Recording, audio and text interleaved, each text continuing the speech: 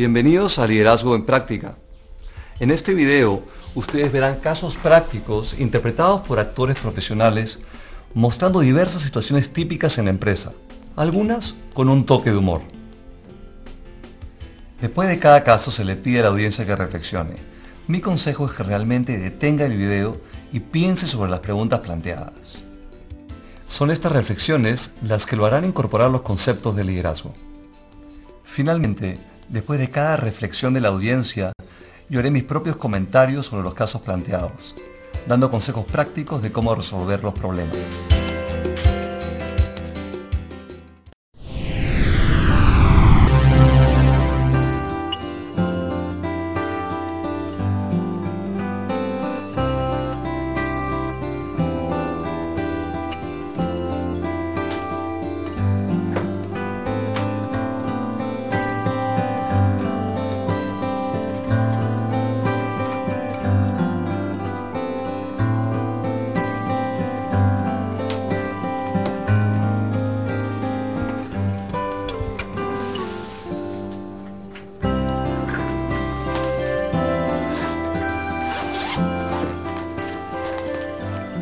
Tú debes ser la nueva chica de las cuentas por cobrar.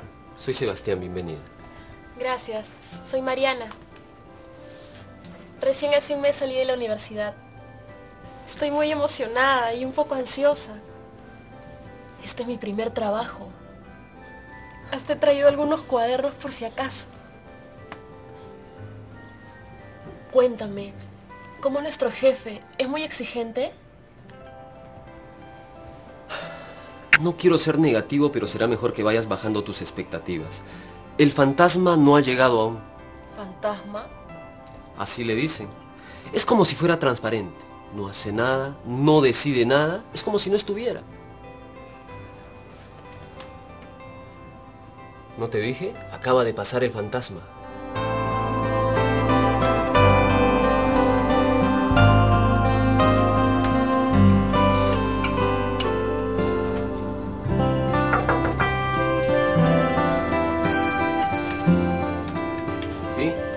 Desea?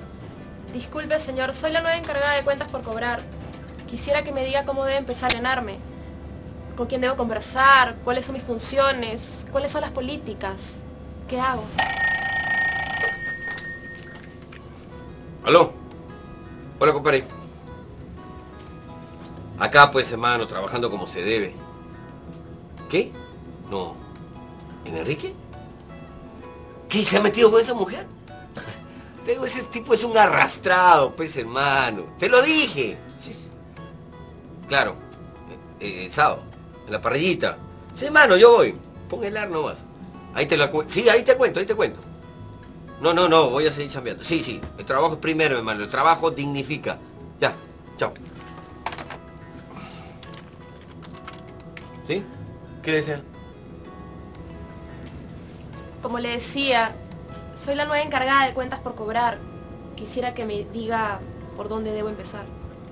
Ah, claro, este... Ahí afuera está Sebastián. Va a trabajar contigo. Él es muy buena gente, te voy a explicar todo. Lo que pasa es que yo realmente estoy muy ocupado. Ahora, ahora estoy en un modelo para simular flujos futuros en diversos escenarios. Esto es bien complejo para ti, pero, pero bien interesante. Tenemos un estilo que se llama empowerment. Empowerment, que significa delegación de funciones.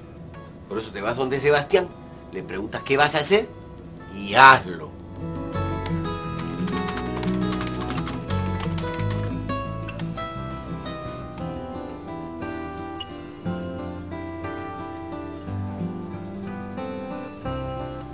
Te lo advertí.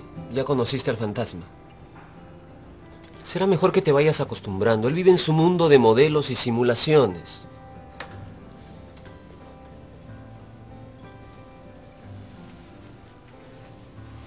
Para él, las personas no existen. Ven. No, no te preocupes, hermano, yo te llamo. Para eso están los amigos, hermano. Yo, yo estoy contigo. Ya, ok.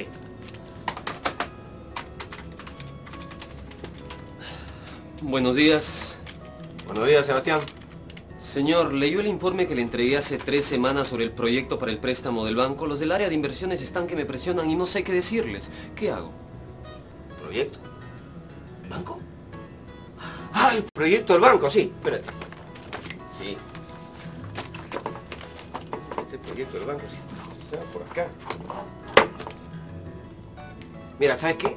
Envíamelo de nuevo, hermanito. No, no sé lo dónde lo, lo que pasa es que tengo mucho trabajo. Tú tienes que entender eso. Envíalo de nuevo, ¿ya, Sebastián? Oye, ey, ey, no te vayas, no te vayas. Algo urgente. ¿Qué te pareció el partidazo del sábado? ¿Ah? Buenazo, ¿no? Tenemos el mejor equipo, hermano. ¿Viste ese gol? ¿Quién te el pase? No, pues hermano, tienes que reconocerlo. ¿Qué es Aquí anda a trabajar, hermano, anda a trabajar, por favor.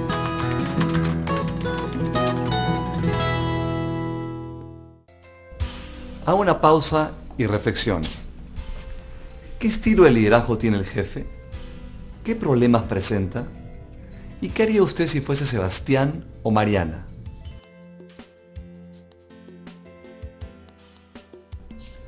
Según el modelo de Bernard Bass, este es el típico líder ausente.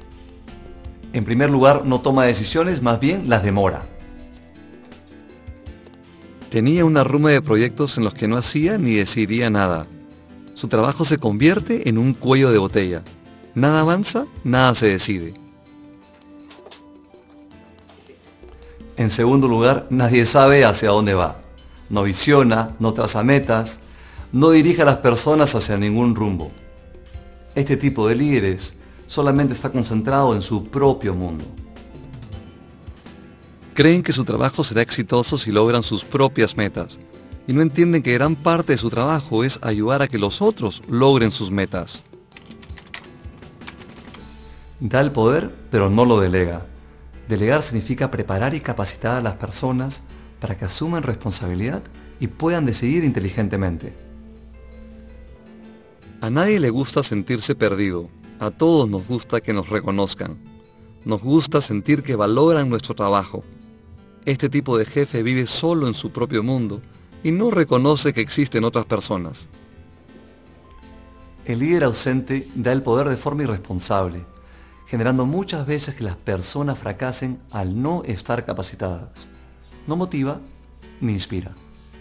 El líder ausente suele generarse cuando la empresa asciende a un excelente técnico y cree que porque fue un buen técnico podrá ahora gerenciar bien a las personas. Pero este es un supuesto equivocado. Ser gerente requiere nuevas destrezas. Requiere entender que un porcentaje de tu mente y esfuerzo debe estar centrado en ayudar a tu gente a salir adelante. Charles House, trabajador de Hewlett Packard en los inicios de esta empresa, recibe una orden del fundador, David Packard, para que deje de fabricar unos monitores de alta calidad. House decide seguir su propia intuición y fabricar los monitores. Al final resultaron todo un éxito. Se usaron para monitorear viajes espaciales, trasplantes al corazón. Realmente fueron todo un éxito. Se vendieron 17.000 ejemplares versus 30 que estaban presupuestados. Hewlett Packard le dio un premio a la iniciativa y a la capacidad de tomar riesgos inteligentes. Esta historia nos da una luz de lo que Sebastián y Mariana, los subordinados del jefe, podrían hacer para salir de la situación. Un camino de acción es tomar riesgos, asumir la responsabilidad y trabajar al margen del jefe.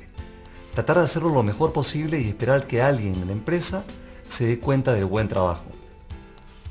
Pero quedarse con el jefe y dedicarse a hablar a espaldas de él, eso no es bueno ni para la empresa ni para uno mismo.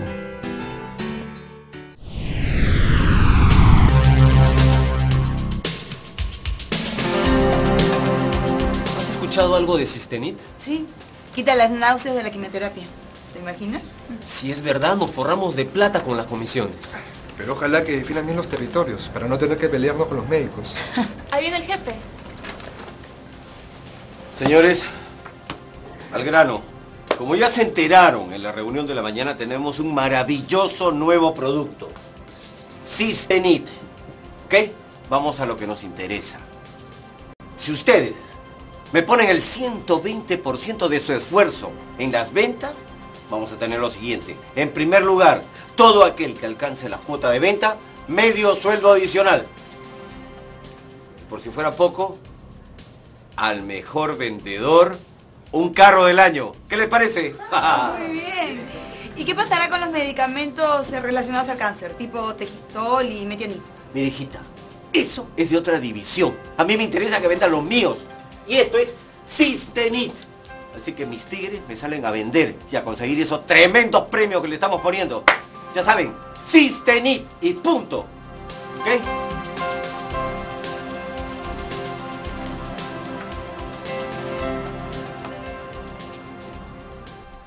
Por favor, haga otra pausa. Reflexione sobre el caso planteado. ¿Cuáles son los aspectos positivos y cuáles son los aspectos que podría mejorar?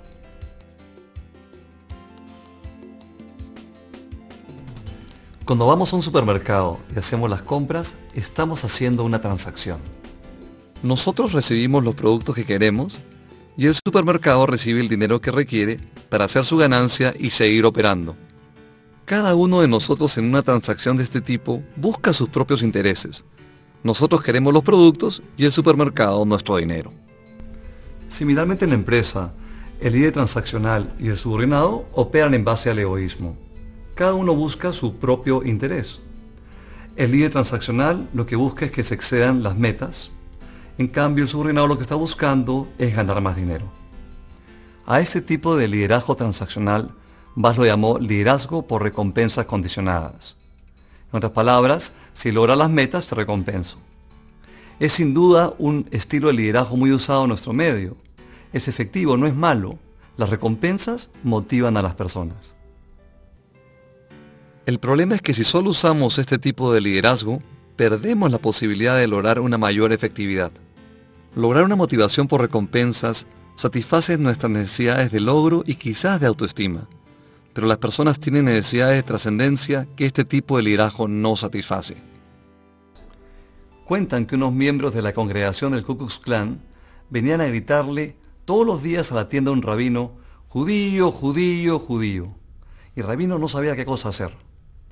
Pensando, pensando, se le ocurrió una idea. Al día siguiente vino la gente a gritarle y él salió y dijo, un momentito, pago 25 centavos a quien me llame judío.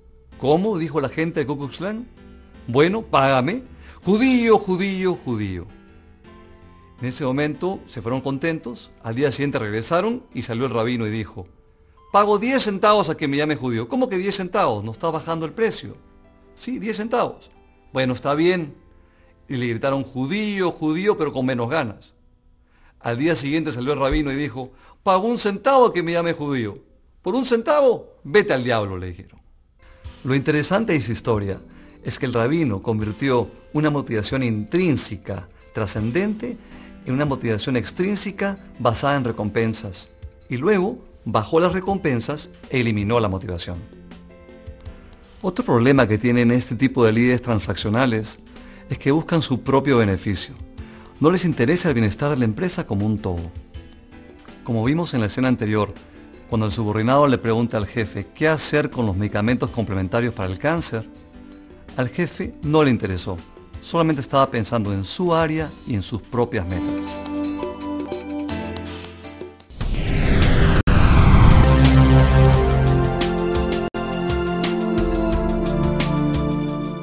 Me han dicho que es un superproducto. Parece que solucionará un grave problema para los pacientes con cáncer. Dicen que es un aporte a la salud. Y además nos traerá buenas comisiones. Ahí viene el jefe. Señores, ¿cómo están? Queridos amigos, los he convocado para darles una gran noticia. Nuestro laboratorio ha descubierto un componente activo que elimina las náuseas en el tratamiento de quimioterapia. ¿Qué les parece?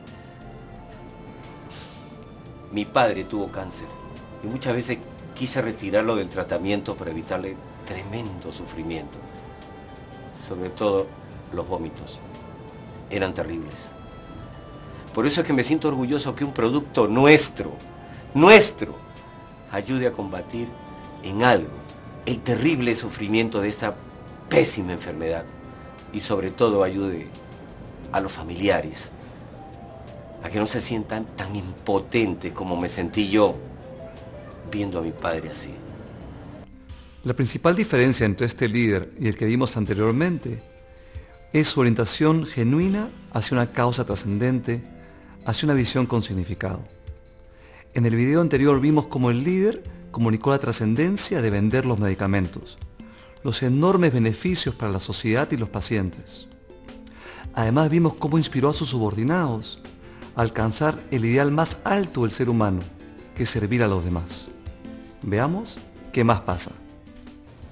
Los invito a compartir la visión de la empresa. Cistenit. Pacientes con cáncer con una mejor calidad de vida. Disculpe, señor. Me conmueve mucho la historia que nos cuenta. Pero me gustaría saber cuáles van a ser los beneficios para nosotros, los vendedores de esta empresa, al promocionar este producto. Entiendo que el dinero es importante para todos. Lo es para mí, lo es para ustedes. Pero dime una cosa. ¿Alguna vez has tenido un pariente directo, cercano, con cáncer? ¿No? Entiendo. Solamente cuando esa enfermedad está tan cerca de nosotros, se puede sentir el dolor y la pena. Por eso, señores, la idea de esto es de que todo el mundo entienda que va a haber premios muy buenos, carros, bonos en efectivo, dinero, pero de eso vamos a hablar más tarde. Lo que ahora importa es que este producto llegue a todos los hospitales que podamos, que los médicos entiendan lo importante, el aporte que es para la ciencia este producto. Por eso quiero el 100%, no, el 120% de su esfuerzo para hacer realidad este sueño.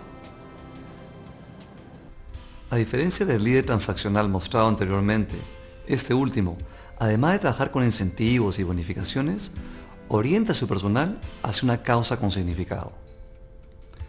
Cuentan que un discípulo se unió a la congregación de San Francisco de Asís y San Francisco decidió entrenarlo al día siguiente. Visitaron muchas calles y se dedicaron a ayudar a la gente pobre. Le buscaron techo, comida, visitaron a los enfermos, a los niños, a los ancianos.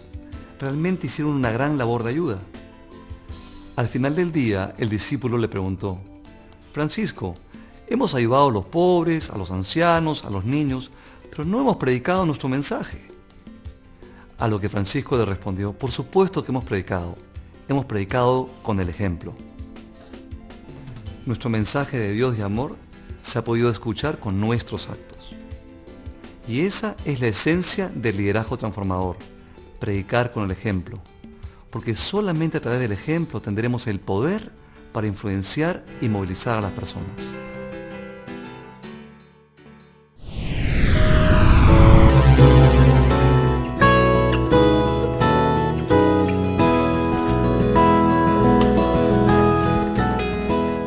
Muchachos, ¿cómo están? Les presento a Mirela, es la nueva ejecutiva de atención al cliente.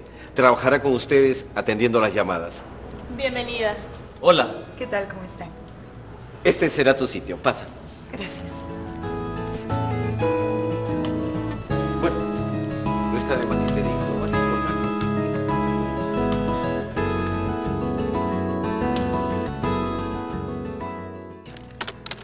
Buenos días, tiendas Rey a su servicio. ¿En qué puedo ayudarlo? Se le malogró su celular. ¿Cómo así se le malogró? ¿Se le cayó? Uy, eso está muy mal. Déjenme sus datos, por favor. Muy bien. Voy a averiguar qué puedo hacer por usted y enseguida lo llamo, ¿sí? Que tenga buen día.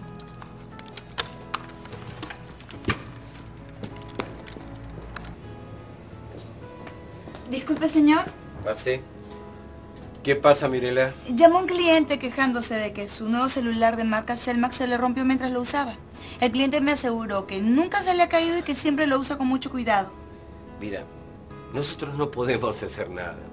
He recibido muchas quejas de ese producto. Ya se lo comuniqué a la gerencia, me imagino que los están descontinuando, ¿no? Pero por nosotros ya no tenemos nada más que hacer. Pero, ¿qué pensarán los clientes? Dirán que les estamos dando un pésimo servicio y no es para menos. ¿No podríamos hacer algo? Recuerda nuestra misión. El servicio es lo más importante. Si te vuelven a llamar presentándote quejas sobre esos equipos, les dices que están descontinuados. En el contrato en letras pequeñas se especifica que nuestra empresa no se hace responsable por equipos defectuosos cuando estén descontinuados.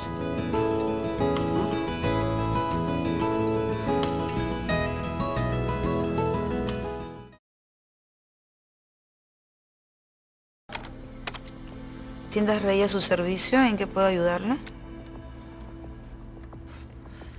No me diga. Se le rompió cuando lo estaba usando y no han pasado ni dos meses. Sí, entiendo su caso, pero ¿sabe qué? No podemos hacer nada por usted. Verá, esos equipos no resultaron buenos, así que los han descontinuado y ya no estamos autorizados para repararlos. Sí, disculpe.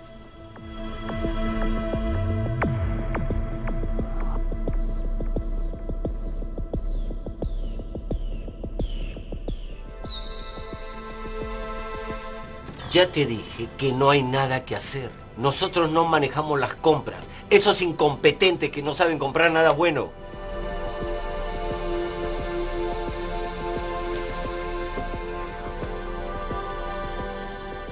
Reflexione. Si usted fuese Mirela, ¿qué haría? Acaba de entrar a trabajar, no conoce a nadie, no tiene autoridad formal y sabe que existe un problema. ¿Qué curso de acción tomaría?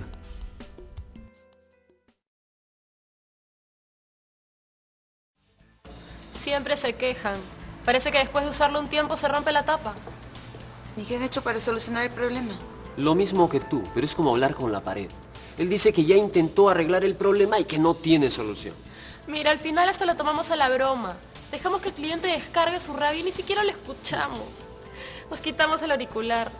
Hasta nos matamos de la risa de las cosas que te dicen. Son tan creativos para molestarse. Dime, ¿hace cuánto tiempo se viene quejando los clientes, ah? Por este teléfono desde hace algunos meses. Pero antes se quejaban por unas computadoras personales que se vendieron en una oferta. Todas vinieron con la batería mala. Tampoco pudimos hacer nada. Esto tiene que cambiar. Si queremos que Tiendas Rey exista en un futuro, tenemos que encontrar la solución a las quejas de nuestros clientes. Que sepan que nuestros productos son confiables.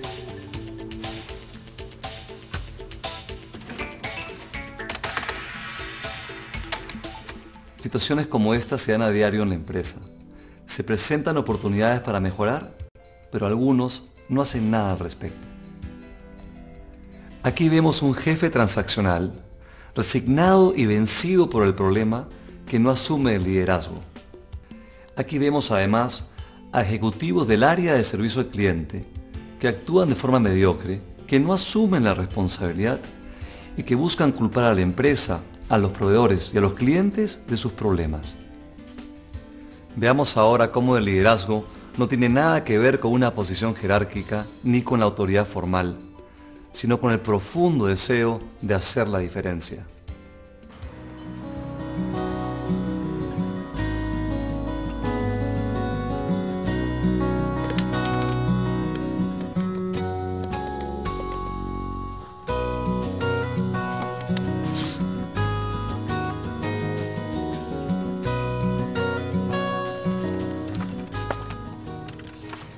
En internet. Efectivamente, el modelo de celulares tiene un problema en todo el mundo. La tapa después de unos meses de uso se rompe. Pero también he descubierto que la empresa matriz tiene una política de reemplazo de celulares por un modelo mucho más resistente. Y es de forma gratuita. La tienda lo único que tiene que hacer es firmar un convenio para que nos den los celulares nuevos y asunto arreglado. Tenemos que hablar, ¿eh? Pero él no quiere saber nada del tema. Si vamos todos juntos, estoy segura que lo convencemos.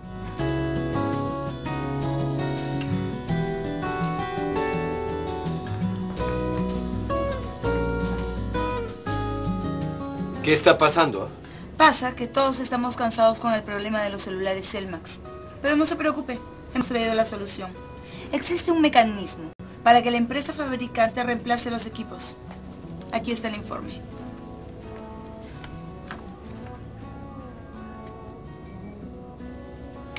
Acá veo una posibilidad. ¿Qué piensa? ¿Llevará la idea al directorio? Me parece genial. No sé cómo los idiotas de compra no se han dado cuenta de esto. Está bien, ganaste. La llevaré.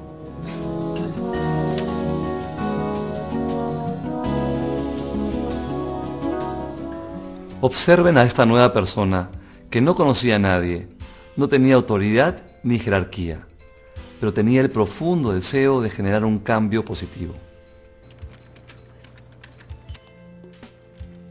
Ella realmente quería ayudar a las personas, a los clientes, quería servir con amor a terceros.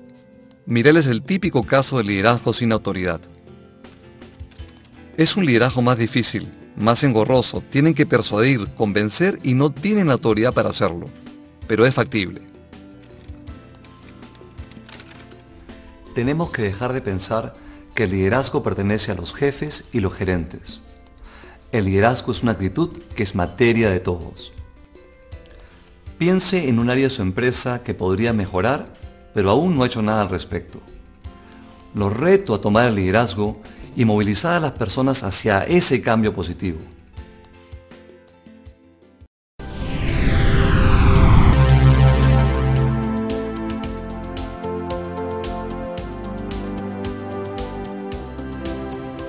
Alexia, hoy nos presentan al nuevo boss. Sí, dicen que es uno de los marqueteros más conocidos del mercado. Señores, Juan, Alesia, quiero presentarles a Carlos Méndez, nuestro nuevo gerente de marketing. Me imagino que habrán escuchado hablar de él. Carlos ha pasado todo nuestro proceso de inducción. Él sabe de la importancia que le damos al liderazgo y sobre todo de la humildad de los líderes. Para nosotros, el trabajo en equipo y la horizontalidad es fundamental.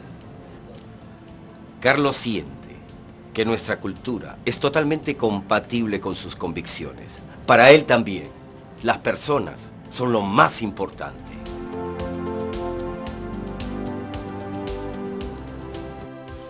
Hagan una pausa. Quiero que observen a Carlos en su discurso y traten de descifrar qué tipo de líder es.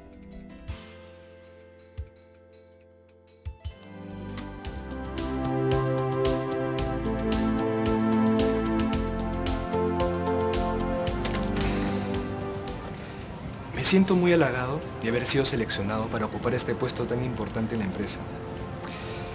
Sé que el tener dos doctorados, una maestría y muchos años de experiencia no son los motivos por los que fui seleccionado. Para mí es importante tener experiencia y estar preparados. Pero estoy seguro que fui seleccionado porque coincido plenamente con los valores de la empresa. Para mí, el buen liderazgo, el trabajo en equipo, el preocuparse por las personas, eso, eso es lo más importante. Yo soy un convencido de que los subordinados no sirven al jefe, sino es el jefe el que debe servir a sus seguidores, entrenarlos y facilitarles su desarrollo. Las decisiones deben tomarse en consenso cuando sea necesario. Solo cuando todos participan es que existe el compromiso. Ahora, quiero pedirles algo. Si yo hago algo en lo que no estén de acuerdo, por favor díganmelo. Yo no sé leer la mente, pero sí puedo escucharlos. Les ruego, les ruego que lo hagan.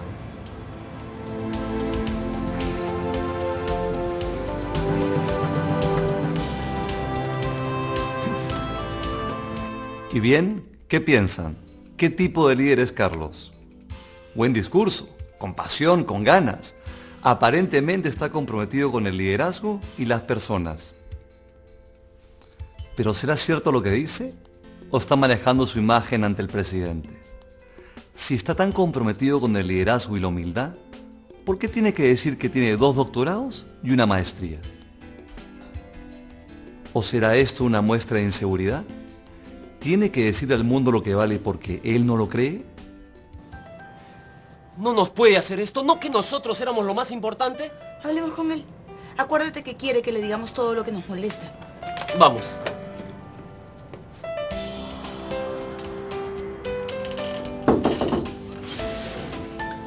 ¿Por qué no se han apiñado de esa forma? Señores, una de las cosas que van a aprender conmigo es que no debemos pensar en nosotros. Primero debemos pensar en el cliente. He ampliado y modernizado esta oficina en la que trabajo porque necesito atender clientes. Ellos son nuestro principal objetivo. En segundo lugar, estamos nosotros. Esta oficina no es grande para mí. Es grande para que los clientes se lleven un buen servicio.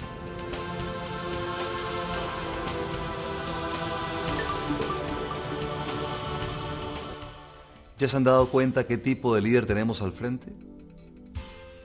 Es aquel que Bernard Bass llama pseudo líder.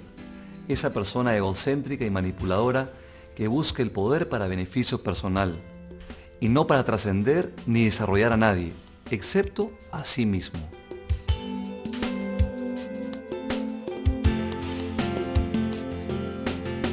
Este tipo de líder tiene muy baja autoestima, muy poco poder interno y lo compensa obteniendo el poder externo. Ahora ha ampliado su oficina para sentirse más importante.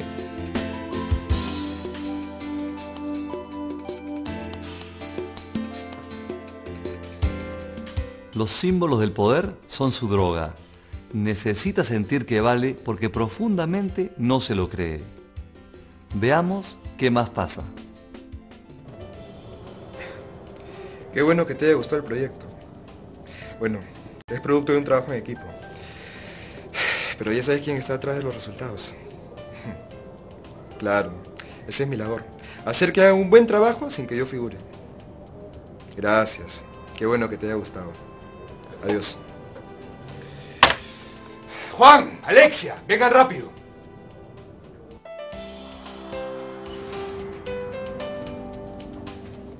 ¿Quién le comentó la idea del nuevo producto al presidente de la empresa sin autorización? Disculpa, Carlos. Alexia y yo estábamos trabajando en la oficina cuando él vino. Nos vio en plena creatividad y nos preguntó lo que hacíamos. Y se lo dijimos porque estamos acostumbrados a hablar libremente. Bueno, eso se acabó. Desde ahora nada. ¿Me entienden? Nada sale de esta oficina sin que yo lo autorice. Yo no estoy pintado en la pared. No se puede dar información que no está totalmente cerrada y verificada. Yo no tengo dos doctorados y una maestría en vano. Tengo mucho, mucho que aportar.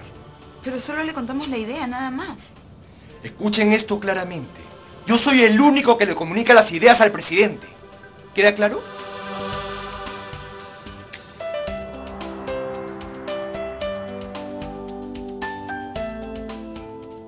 Ahora nos queda claro que tenemos al frente nuestro al típico pseudo líder, que busca sus propios intereses sin importarle sus seguidores.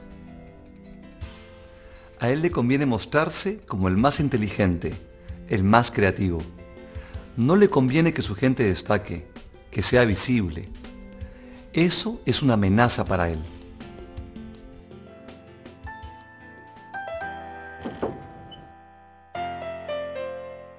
Permiso, Carlos. Está llamando el señor Collado, el jefe de compras de nuestro principal cliente. Dile que no estoy. Estoy ocupado.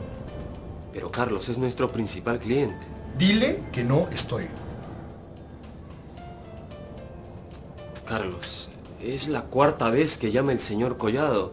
Estoy preocupado, es nuestro principal cliente. ¿Lo vas a atender? Ya te dije que no. ¿Pero por qué? ¿No decías que todo lo hacías por los clientes? Escucha una cosa, Juan. Yo no voy a hablar con una persona que no tiene mi jerarquía. Yo soy gerente. Menciónale educadamente que si su empresa quiere hablar conmigo, que me llame su jefe, el gerente. Carlos, sé razonable, es nuestro principal cliente. Recuerda, el cliente siempre tiene la razón. No me venga con estupideces, Juan. Yo no me voy a dejar humillar por un jefesucho de medio pelo. Yo tengo dos doctorados y una maestría y merezco respeto.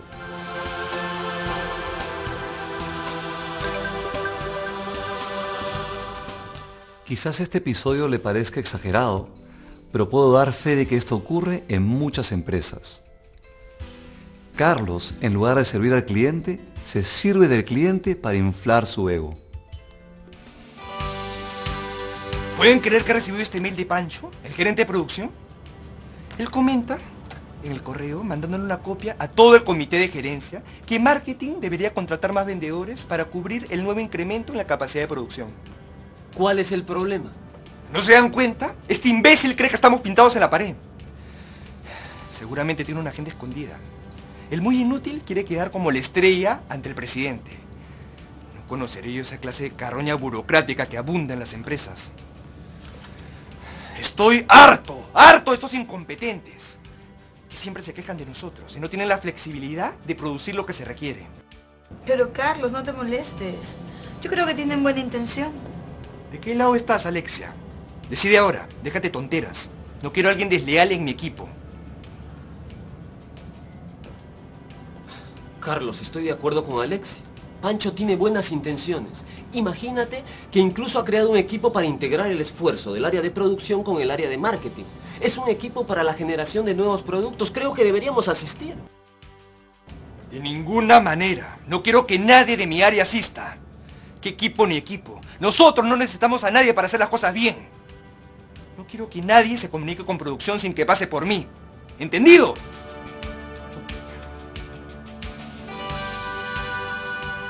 Como vemos, Carlos tiende a desprestigiar a las otras áreas de la empresa. Solamente la suya es perfecta. Fíjense que no hace ningún esfuerzo para que su gente se integre a toda la empresa. Más bien, los enemista contra los demás. Esta es una típica conducta de un pseudolíder narcisista, solo preocupado por su estatus, posición y poder.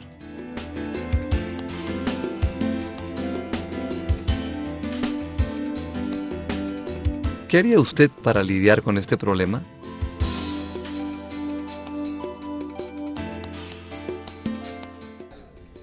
Si bien hay muchas alternativas, mi consejo es no enfrentarlo directamente. Un jefe como Carlos no escucha y además considera a un subordinado descontento como su enemigo. Una posibilidad es hacer una coalición, es decir, ir todos los subordinados en conjunto a hablar con el jefe. Otra posibilidad es pedirle a la empresa que realice una evaluación 180 grados, es decir, una evaluación donde los subordinados evalúan al jefe. Y esperar que alguna persona en las altas esferas gerenciales se dé cuenta del problema que se vive en el área. Otra opción más riesgosa es hablar con un superior de confianza, de mayor jerarquía, que nos ayude a resolver el problema. La última opción, la más drástica, sería renunciar.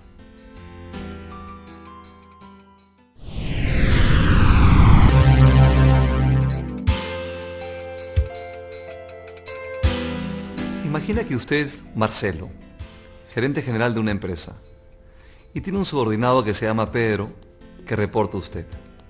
Le da buenos resultados en ventas, en utilidades y tiene buenos indicadores de servicio al cliente pero tiene un clima laboral que podría mejorar. Usted ha pedido que le realicen una evaluación 360 grados, es decir, una evaluación donde es evaluado por sus subordinados, sus colegas y por él mismo. Y ha encontrado que existen tres principales problemas. Su gente siente que no escucha y que tiende a hablar demasiado. Además sienten que en algunas ocasiones actúa de forma prepotente, haciendo crítica destructiva. Además le gustaría que le dé más crédito a los logros de su personal y no hable tanto de sus propios méritos. Reflexione. Si usted estuviera en el lugar del gerente general, ¿cuál sería la mejor forma de darle retroalimentación a Pedro para que mejore? Veamos tres alternativas. Me llamaste Marcelo, ¿en qué te puedo ayudar? Sí, Pedro. Quiero conversar contigo de un tema bastante delicado.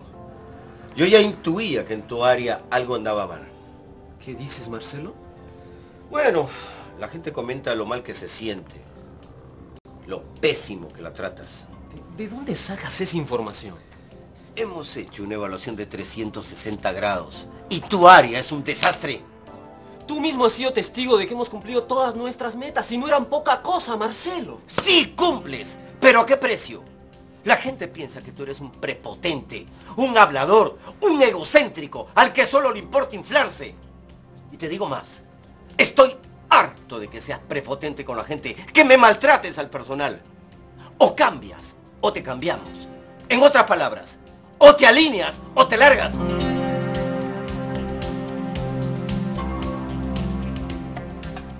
Reflexione. ¿cuáles son las consecuencias de tener una retroalimentación como la que acabamos de ver? ¿Cuáles son a su juicio los errores de Marcelo? ¿Y qué mensaje no explícito le manda a Pedro?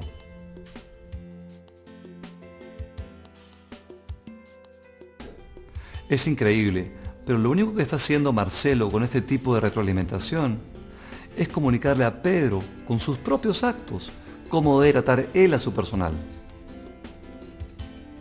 En vez de retroalimentar, ha agredido a Pedro, quien debe sentirse golpeado y maltratado. Dudo mucho que Pedro aprenda de esta forma a tratar mejor a su gente.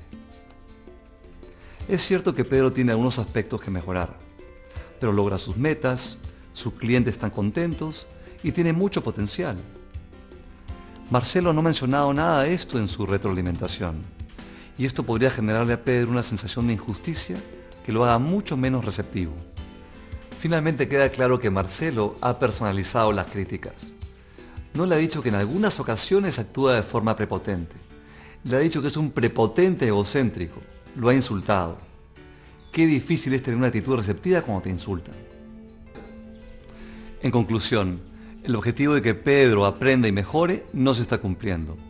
El único objetivo que sí se está cumpliendo es que Marcelo infle su ego a costa de Pedro. Hola Marcelo, me llamaste. ¿En qué te puedo ayudar? Bueno, para decirte que estamos muy contentos con tu gestión este año. Has alcanzado los mayores indicadores de tu gestión. Tienes muy buenas ventas. Los clientes están felices contigo. En fin, ha sido un año estupendo. Pero bueno, siempre se puede mejorar y nosotros estamos aquí para apoyarte. Mira, hemos visto en la evaluación de 360 grados que tu gente no está muy contenta con tu accionar. Vamos, eh, que le gustaría que los escucharas más, que les prestaras más atención. Que en ocasiones tú actúas prepotentemente y tus críticas son destructivas. En otras palabras, le gustaría a tu gente que tú seas más humilde, y que tomes más en cuenta los logros de ellos. Muchas gracias, Marcelo. Mira, no sabía que mi gente me veía de esa manera. La verdad es que estoy un poco desconcertado. Quizás es porque estaba tenso por cumplir mis metas y ellos un poco sensibles por la presión.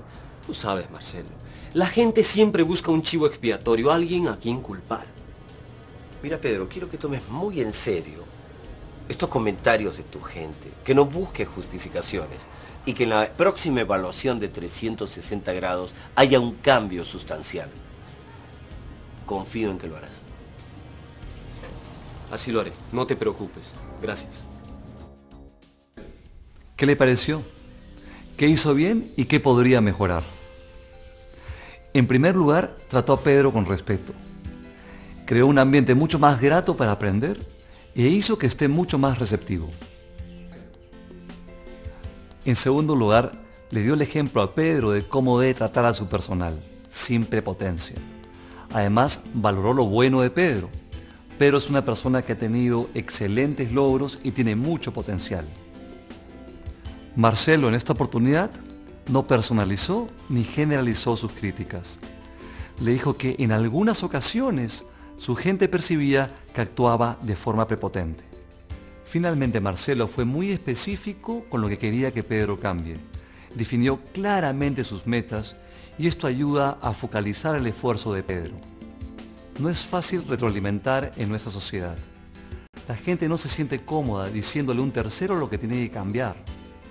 Más bien no tiene ningún problema en hablarlo a sus espaldas. Por eso cuando retroalimentamos, la gente tiende a ser más condescendiente. Esta vez sin duda Marcelo hizo un mejor trabajo, pero ¿podría haberlo hecho mejor? Veamos una tercera alternativa. Hola Marcelo, te agradezco que me hayas enviado la evaluación 360 grados por anticipado. Quisiera hacerte algunos comentarios al respecto. No, no tienes nada que agradecer, Pedro. Este espacio es para mejorar tu desarrollo personal y profesional. Antes que nada quiero decirte de que acá tengo tu evaluación es estupenda. Tus indicadores estratégicos han aumentado. Has sobrepasado tus ventas y márgenes. Es excelente tu unidad de negocios. En fin, estamos muy contentos de que estés en esta empresa. Muchas gracias, Marcelo. De nada. Tú sabes que ese es nuestro trabajo y ese es el motivo de la evaluación. Mostrarnos en qué podemos mejorar. Tú la recibiste. ¿Qué opinas al respecto? Bueno, he visto que en muchos aspectos mi gente me considera un buen gerente. La gente piensa que tengo una visión clara, que fomento romper el orden establecido e innovar. Además, la gente siente que existe orden en mi departamento. Bueno, son actitudes positivas. ¿Y qué puedes ver para mejorar? Bueno, no sé por qué ellos piensan que soy un poco prepotente. Mm. He visto que ese tema salió en la evaluación. ¿Por qué crees que ellos te ven así? Quizá porque a veces ando un poco apurado y presionado por cumplir las metas y no tengo tiempo de escucharlos como debería. O quizá porque no los hago partícipes de la toma de decisiones porque no hay tiempo, Marcelo. ¿Cómo crees que se sienten ellos cuando esto ocurre? Me imagino que no muy bien. Pero qué difícil es estar preocupado por la gente cuando el tiempo apremia para cumplir las metas. Claro, el trabajo de gerente es muy difícil. Pero ¿tú no crees que con esto tu gente se desmotiva y termina afectando tu productividad? Sí, de hecho que influye. A un mejor clima y más productividad. Y además se convierte en un lugar más agradable para trabajar. Y bueno, ¿qué puedes hacer para mejorar este tema de la prepotencia y escucharlos como a ellos les gustaría? Creo que debo planificar mejor mi tiempo. Con más tiempo puedo dedicarle más atención a mi gente, escucharlos más. Me parece una buena idea. La verdad es que voy a tratar de estar más consciente de mi interrelación con ellos. Además, voy a hablar con cada uno de ellos para que cuando alguien sienta que actúo de un modo prepotente me lo diga en privado. ¿Qué acciones concretas puedes tomar empezando desde mañana? Mm, debo planificar mejor todo mi mes para realmente tener un tiempo de reflexión y de comunicación con mi gente. Voy a programar una reunión fija mensual con cada uno de ellos para retroalimentarlo y que me retroalimente. Voy a cuidar más mis palabras y actitudes para evitar que ellos me perciban como una persona que actúa de manera prepotente y egocéntrica. Pedro, me parecen muy buenas ideas. En un mes nos reunimos y me cuentas cómo te fue. Yo estoy seguro que en la próxima evaluación de desempeño habrás mejorado muchísimo. Confío en ti. Muchas gracias, Marcelo. ¿Qué ocurrió en esta oportunidad? ¿Usted cree que fue mejor que la anterior? ¿Por qué? Sin duda fue una mejor retroalimentación que la anterior. En este caso, Marcel usó el estilo coaching o entrenamiento. No le dijo lo que hacía mal, no le dijo lo que tenía que mejorar. Se limitó a hacerle preguntas para que el propio Pedro descubra sus áreas de mejora. Cuando te dicen lo que haces mal, eso te desmotiva. En cambio, cuando tú mismo encuentras las áreas de mejora, te sientes mucho más motivado para actuar. Ahora Pedro no solo cuenta con estrategias concretas para mejorar, sino que él mismo se las ha impuesto. Seguro que estará más motivado para implementarlas. Recuerde que una persona puede leer muchos libros y observar varios videos sobre liderazgo para obtener conocimiento sobre el tema. Pero solo liderando uno aprende a ser un líder. Mi consejo es que tome los conceptos vertidos en esta obra y busque una oportunidad para movilizar a las personas hacia una causa trascendente. Es en la práctica del liderazgo donde uno aprende a ser un líder.